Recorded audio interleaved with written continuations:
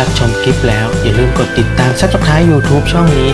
และอย่าลืมกดรูปกระดิ่งแจ้งเตือนตรงนี้ รับรองไม่พลาดคลิปใหม่ๆของเราอย่างแน่นอน